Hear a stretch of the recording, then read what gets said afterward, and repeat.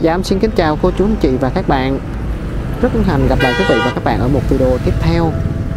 Đà Lạt hôm nay là ngày 7 tây tháng 1 năm 2023 Em đang đứng ở ngay con đường Duy Tân quý vị Cuối của con đường Duy Tân Giao nhau với con đường Hùng Vương Con đường Hoàng Văn Thụ và con đường Trần Lê. Ở phía bên trái của em đây là khu vực khách sạn Duy Tân năm xưa Ngày nay trở thành khách sạn Sài Gòn Đà Lạt. Đà Lạt hôm nay à, nhiệt độ khá là lạnh quý vị. Bây giờ là 14 giờ chiều mà nhiệt độ chỉ có 17 độ C. Trời lạnh cống à, khiến cho đôi tay nó cũng run run. Chỉ còn mười mấy ngày nữa thôi là đến Tết Nguyên Đán rồi. Nhưng mà trời vẫn mưa à, dự báo thời tiết. Giờ cho đi à, cho đến hết tuần sau chủ nhật tuần sau vẫn tiếp tục mưa như thế này.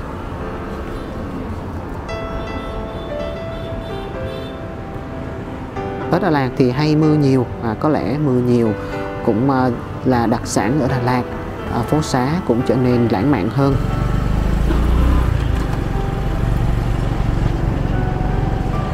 Thời tiết Tết Nguyên Đán năm nay á, thì cũng rất là quan trọng bởi vì cũng có nhiều người quan tâm để mà đi du xuân à, Tết Nguyên Đán Quý Mão. Còn à, đối với buổi tối á, thì nhiệt độ chỉ có 14 độ C thôi quý vị. Tại đây là con đường Trần Lê à, cuối của con đường Trần Lê và đi hướng này á, thì nó sẽ thông về con đường à, Triệu Việt Vương, con đường Lê Hồng Phong. Thì em cũng xin kính chúc quý vị và các bạn dồi dào sức khỏe, thật là nhiều niềm vui và hạnh phúc. Bên tay trái của em đây là con đường Pasteur. Con đường này nó sẽ chạy về con đường Trần Phú quý vị. À, hôm nay thì em xin kính mời quý vị và các bạn chúng ta sẽ đi à, về con đường Triệu Việt Vương à, thuộc phường 4 của thành phố Đà Lạt.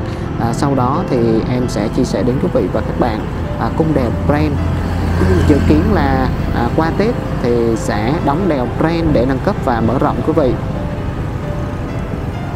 Ở đây thì có những con đường như là con đường à, Nguyễn Viết Xuân con đường à, Huỳnh Thúc Kháng à, rồi con đường Pasteur quý vị con đường này đó là con đường Huỳnh Thúc Kháng. Quý vị và các bạn sẽ đi về khu vực à, ngôi nhà ma quái và một số điểm ăn chơi à, massage về ban đêm.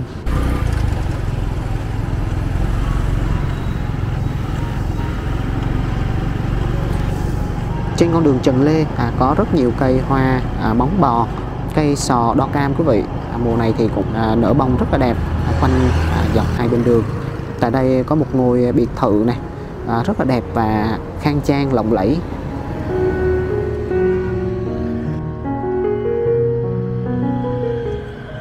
Còn bây giờ thì em sẽ đi về con đường Triệu Việt Vương. À, ở bên tay phải của em đây là con đường Ngô Thị Sĩ quý vị. Và con đường này sẽ đi về đường à, Huyền Trân Công Chúa rồi đến nhà thờ Du Sinh. À, thời tiết à, buổi chiều hôm nay à, cũng mưa mưa à, bên trái của em đây là viện Bát Tơ còn đi thẳng xuống thì đó là khu vực là con đường Nguyễn Hồng Phong cũng thông xuống đường Trần Phú. À, rất là nhanh và gần. À, thời tiết mấy bữa nay à, thì nó cũng mưa cả ngày mưa liên tục à, khiến cho việc buôn bán của bà con gặp rất là nhiều khó khăn. Và đặc biệt là những cây man đào quý vị ở ngoài khu vực à, bộ hồ Xuân Hương cũng như là men theo à, những tuyến đường vẫn chưa có nở nhiều bông. À, tại đây thì có một cô đang à, bán chuối cũng như là bán hồng giòn. Hồng giòn bây giờ thì cũng hết mùa rồi. À, bày bán à, treo những loại chuối toàn ten nhưng mà người thì cũng đã đi đâu rồi không thấy. À, trên con đường chiều Việt Vương này á thì à, có những cây man đào nhưng mà em chỉ thấy có một cây man đào ra bông à, rực rỡ. Có lẽ à, do thời tiết ở Đà Lạt mùa này lạnh á thành thử ra là à, những cây man đào ở trong ờ, trung tâm thành phố cũng ờ, đỡ nở chậm hơn à, so với năm ngoái.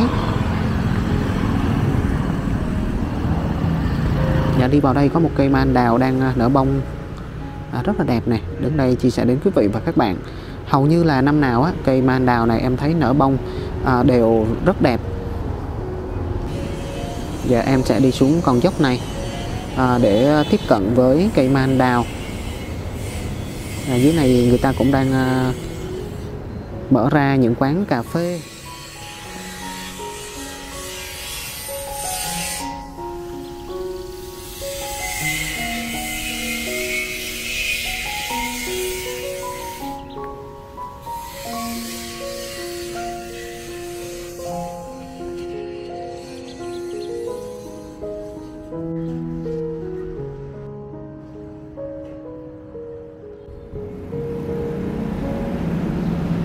Quán cà phê ở đây á à, quý vị và các bạn sẽ thấy là người ta bán rất là nhiều các cái ờ, chai ờ, tinh dầu tinh dầu do các em có những hoàn cảnh khó khăn.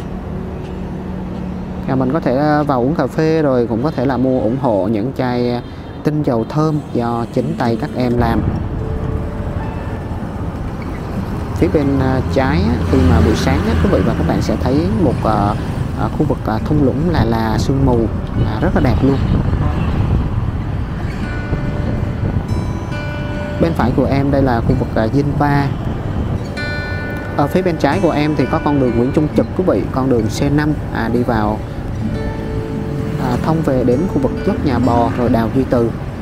À, tuy nhiên thì con đường nó hơi khó đi một chút à, với những khúc cua à, đòi hỏi những tay lái cứng thì mới à, dám chinh phục và bây giờ thì em sẽ tiếp tục di chuyển xuống con đường Triệu Việt Vương.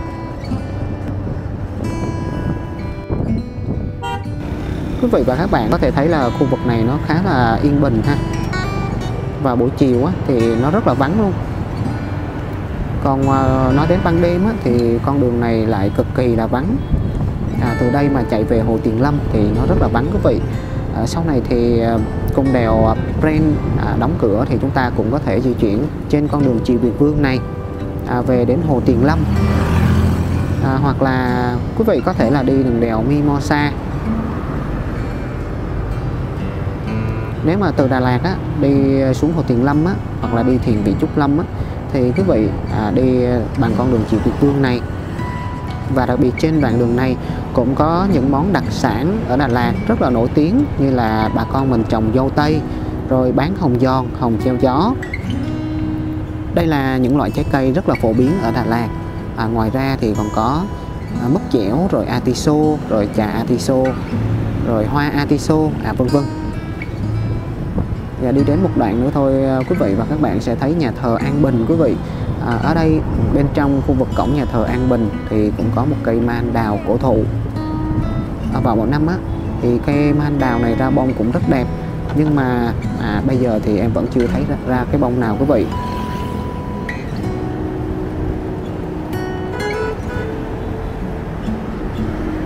Đi xuống một đoạn nữa thôi. À, thì có những vị trí có những vườn dâu của bà con mình. À, những vườn dâu thì mình có thể tham quan vườn dâu quý vị ở bên tay trái thì có con đường An Bình. À, sẽ đi về khu vực uh, ấp Xanh Danh rồi về đến khu vực đường Trần Phú. À, về đường Bá Đa Lộc xong về đường đến đường Trần Phú quý vị. À, ở khu vực này bà con mình à, trồng dâu tây cũng nhiều cũng có một số điểm tham quan vườn dâu. À, ngoài ờ, ở đây ra thì còn các điểm khác để mà quý vị và các bạn tham quan hái dâu tại vườn như là ở khu vực phường 7 này rồi Đa Phú. Ở Đà Lạt thì có những loại dâu như là dâu tây New Zealand. Dâu tây New Zealand thì có vị ngọt à, thanh không có bị mềm. Đây cũng là loại cây cao cấp nhất. Ngoài ra còn có à, loại dâu phổ biến đó là giống dâu mỹ đá quý vị cho trái cứng và quả thì thường có hình trái tim và đỏ tươi. À, khi mà mình đóng gói đi à, vận chuyển đi xa thì nó cũng khó bị dập à, so với những quả dâu khác. À, đây cũng là loại dâu truyền thống à, được trồng phổ biến tại Đà Lạt. Và quý vị và các bạn cũng có thể để trong tủ mát 3 đến 4 ngày à, thì vẫn có thể sử dụng được rất là ngon. Ngoài ra thì còn một giống dâu nữa đó là giống dâu Nhật Bản.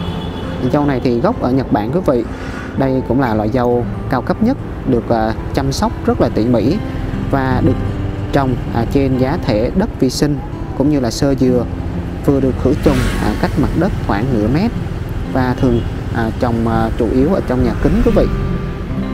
Trên thị trường thì giá dâu này còn là giá dâu mắc nhất bởi vì giá dao động từ 400 ngàn cho đến 500 ngàn đồng một ký.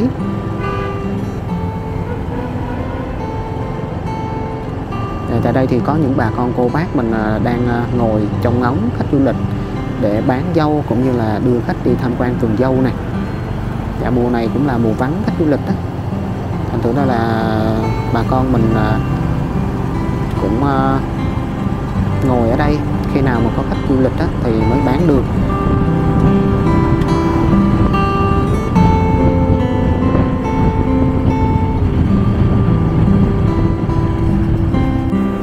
Dâu tây phổ biến á, thì à, bắt đầu từ tháng 11 à, cho đến cuối tháng 4 đầu tháng 5 à, tuy nhiên à, vào thời điểm này á, dâu tây rộ quả nhất à, đó là vào cuối tháng 12 cho đến tháng 3 hàng năm. À, và đặc biệt là vào đúng dịp Tết Nguyên Đán luôn để cho du khách à, cũng như là cô bác anh chị và các bạn đi tham quan vườn dâu.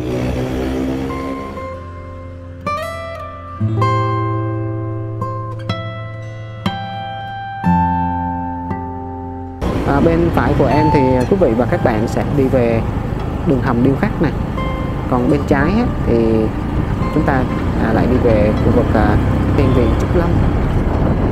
Tình hình năm nay bà con à, cô bác mình à, gặp rất là nhiều khó khăn à, về kinh tế buôn bán thì chậm à, cũng không có khách du lịch.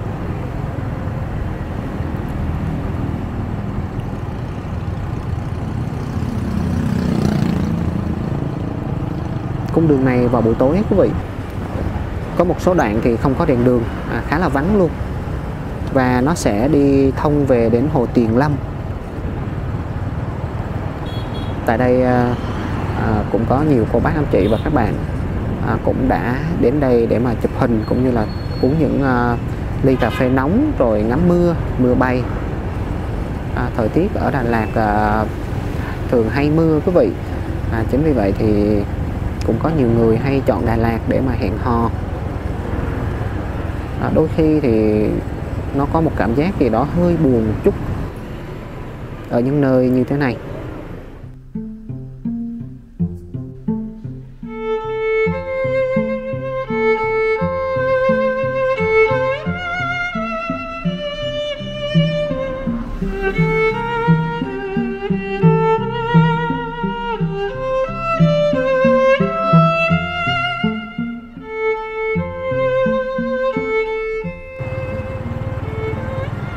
Cũng có quán nướng quý vị. Rồi quán cà phê được à, bà con mình mở ra ở đây này ở đây chỉ bán à, được à, vào ban ngày thôi còn ban đêm thì tương đối là vắng vẻ. À, thỉnh thoảng thì cũng có khách uh, du lịch. Uh, lâu lâu thì cũng có khách ngoại quốc.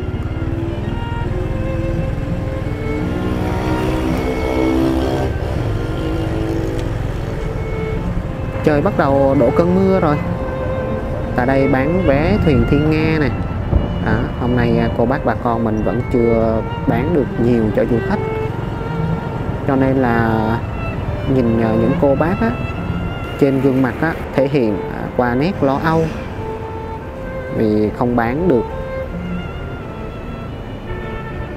Ở đằng kia à, em thấy là một số chiếc thuyền thiên nga người ta cũng đang à, để lên bờ để mà bảo trì một số hệ thống chân vịt. Thuyền thiên nga ở đây à, người ta đi cũng không có phổ biến như là ở ngay khu vực hồ Xuân Hương được quý vị. À, thành thử ra là em thấy là mỗi lần đi ngang qua đều thấy rất là ít người đi thuyền thiên nga. Khu vực à, đèo Tren này à, qua Tết mới chính thức đóng cửa để sửa chữa quý vị. Ờ, vào ngày 10 tháng 2 năm 2023 còn ở trong Tết á, thì vẫn đi lại được bình thường để mà phục vụ du khách người dân đi chơi Tết. À, khi mà từ Đà Lạt đi xuống Định An Đức Trọng à, đi về cao tốc rồi đi à, Bảo Lộc thì ở Chí Linh à, Sài Gòn thì người dân ở Đà Lạt thì đều đi à, trên con đường này. Và đặc biệt là mấy ngày Tết á, thì à, các cô các bác trồng à, hoa lây ơn ở dưới Định An á, cũng hay chở bông lên thành phố Đà Lạt bán cho nên là à, những ngày Tết à, cô bác bà con mình cũng à, thường à, di chuyển trên con đèo này. Tại đây thì có quán cà phê à, Trúc Vân quý vị.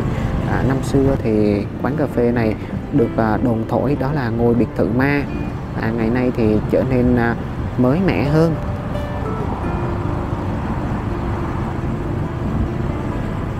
Quý vị có thể thấy là quán cà phê Trúc Vân này ngày nay người ta cũng tuyển nhân viên này ở trên đèo Pren á, thì có hai à, khu biệt thự luôn được à, đồn thổi là có ma. Ở đây là căn à, biệt thự đầu tiên ở dưới đèo à, nhìn lên. À, phía bên trên thì vẫn còn một căn nữa. Căn à, biệt thự ngày nay cũng à, trở nên mới mẻ hơn à, không có lạnh lẽo như là trước nữa quý vị. Trước đó thì lạnh lẽo ẩn mình ở bên trong rừng thông. Khu vực à, thông trên đèo Ren chủ yếu là thông ba lá. À, đây cũng là loại thông đặc trưng nhất ở Đà Lạt. À, con đèo Ren thì được xây dựng vào năm 1943 phía bên trên này quý vị có thể thấy là còn một căn à, biệt thự nữa. Căn biệt thự này à, trong nó có vẻ u ám và lạnh lẽo hơn rất là nhiều. Và hiện nay thì vẫn có người đang à, sinh sống ở trong quý vị. Hiện tại thì đèo Bren có chiều dài khoảng 10 km nối từ cao tốc và Liên Khương lên đến đèo Bren và điểm cuối của đèo Bren là đường 3 tháng 4 con đường Nguyễn Tri Phương rồi về đến thành phố Đà Lạt. À, với quy mô lần này người ta mở rộng ra là 4 làn xe ô tô và cũng đạt tiêu chuẩn à, đường cấp 3 được chạy với tốc độ 60 km trên 1 giờ. À, ngoài ra thì sau khi mà người ta làm á, thì người ta cũng bố trí thêm à, võng ngắm cảnh rồi à, khu vực à, bốn khu vực đậu xe. Hiện nay con đèo nó cũng khá là chật chội à, cũng à, nhiều khi nó cũng à, xe lớn đi nhiều quý vị nhiều khi xe 45 chỗ ngồi thì nó rất là chật. Hiện tại thì có hai cung đèo đi lên Đà Lạt rất là nhanh đó là đèo Ren và đèo Mimosa à, và còn có đèo Sacom để quý vị. Tuy nhiên thì đèo Sacom thì nó xa hơn và chúng ta phải đi vòng lên đến Hồ Tiền Lâm mới về trung tâm được. À, cung đèo Brand thì nó quá là quen thuộc rồi. Mỗi khi mà nhìn những chuyến xe đò chạy lên Đà Lạt chở du khách về bến xe Liên Tỉnh rồi bến xe Tùng Nghĩa thì chắc hẳn ai cũng không khỏi bâng khuâng về những ngày tháng kỷ niệm tại xứ sở ngàn hoa. Đây là con đường à, cửa ngõ đi vào thành phố Đà Lạt. Và đến ngay vị trí này em cũng xin được tạm nói lời chia tay đến quý vị và các bạn. Em xin chân thành cảm ơn quý vị và các bạn rất là nhiều đã dành thời gian quan tâm, theo dõi. Còn bây giờ thì em xin được nói lời tạm chia tay và hẹn gặp lại quý vị ở những video tiếp theo trên kênh Cuộc Sống Đà Lạt.